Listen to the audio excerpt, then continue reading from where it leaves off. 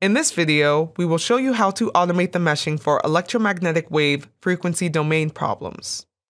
This feature is going to create the mesh for our entire model geometry, including any perfectly matched layers.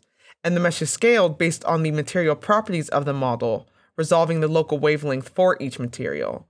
So the entire meshing process is completely automated for us. Here we have open the optical scattering model in COMSOL Multiphysics, and we're going to take advantage of the symmetry of this model, which is a sphere, by only modeling a quarter of it. We have the dielectric sphere, which lies within the center of the model and is surrounded by air. And we're going to solve for the scattered field surrounding the sphere. If we look at the material properties for air, we can see it has a refractive index of 1, and our dielectric material has a refractive index of 4. We've also specified the wavelength of incident light to be 400 nanometers with the parameter wavelength. Now, to automate the meshing for electromagnetic wave problems, we can go right under the electromagnetic waves frequency domain interface, and in the settings window, under the physics controlled mesh section, we can simply select enable.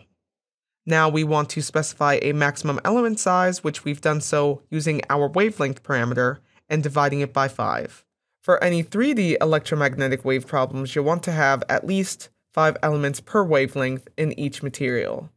So now, with the simple toggle of the Enable checkbox, we can return to Mesh 1 and click Build All to generate the mesh.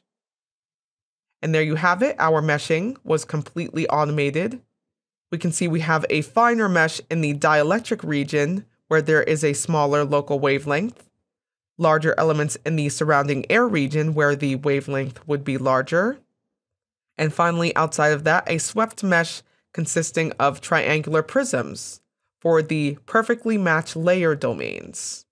If we change our sequence type to a user-controlled mesh, we can see under Mesh 1 the meshing for all the parts of our geometry and we can go under any of these subnodes and further refine the meshing for that part. This concludes our tutorial on how to automate the meshing for electromagnetic wave frequency domain problems.